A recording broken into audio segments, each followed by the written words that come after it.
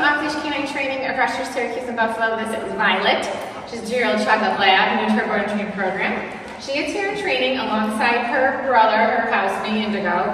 Um, she is here just to brush up on some obedience, brush up on manners. Biggest concern is just jumping on people, um, leash pulling. Um, that's really it. They say she's got pretty good recall, pretty good girl than that. So just gonna work on some more relaxed manners. So check back in two weeks and see what Violet has learned.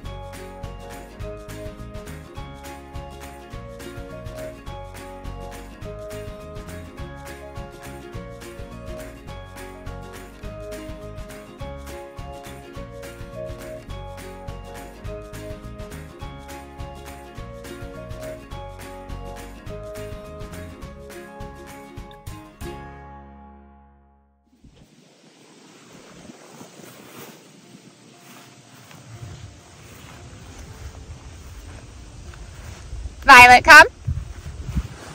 Yes, good girl. Yes, good. Violet, come. Yes.